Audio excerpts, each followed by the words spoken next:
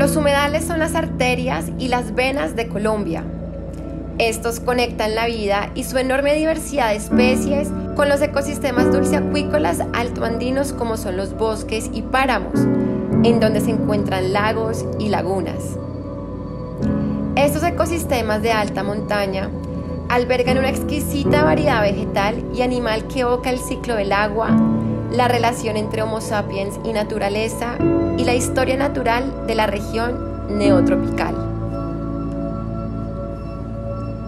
Colombia es el segundo país con más riqueza de peces de agua dulce del mundo, registrando un total de 1.616 especies.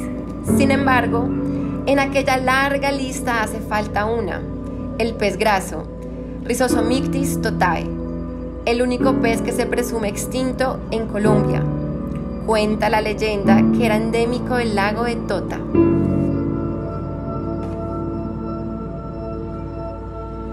Ubicado a 3.015 metros de altura en la parte superior de la cordillera oriental de Colombia, se encuentra el lago de Tota. Este lago pertenece a la ecorregión del Orinoco, compartida por Colombia y Venezuela. Existen seis peces endémicos de esta ecorregión, entre ellas el pez graso. En noviembre del 2021, Shoal Conservation junto a socios locales emprendieron una nueva búsqueda del pez graso, donde ha sido necesario implementar una investigación colaborativa e interdisciplinar en la interfaz de la ictiología neotropical y las ciencias sociales.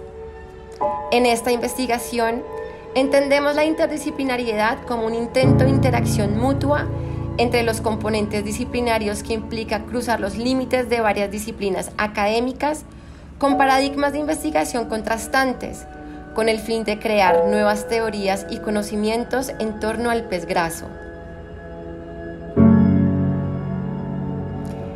Esta es la búsqueda interdisciplinar del pez graso, que se enriquece al tener un enfoque participativo al involucrar saberes locales que revelan encuentros recientes con el pez, aumentando la esperanza de que la ictiología lo encuentre de nuevo con vida.